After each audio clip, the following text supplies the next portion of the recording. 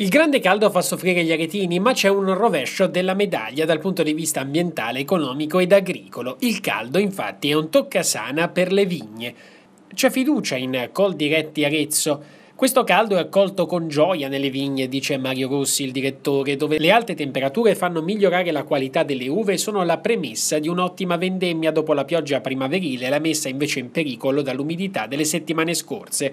In questa fase, continua Rossi, l'innalzamento della colonnina di mercurio garantisce la sanità dei grappoli messa invece in pericolo dall'umidità delle settimane scorse, anche se occorrerà aspettare le prossime settimane per una corretta valutazione. Le condizioni sono al momento positive per il raccolto. Se non non ci saranno sorprese, la partenza della vendemmia è prevista per settembre e ottobre con la raccolta delle grandi uve rosse autoctone. Molto dipenderà dall'andamento climatico in prossimità della raccolta delle diverse varietà, ma è probabile che anche quest'anno si riproporrà la tradizionale sfida con la Francia per il primato qualitativo, ma la campagna aretina non ha nulla da invidiare a quella francese. Il clima nelle campagne è importante anche per la grande varietà di frutte raccolta in questo momento con il caldo che ne esalta le specifiche proprietà, ma ne aumenta anche i consumi consumi. Si stima che nei primi 10 giorni di luglio gli acquisti di frutta e verdura sono risultati in aumento del 10% rispetto allo stesso periodo del mese precedente.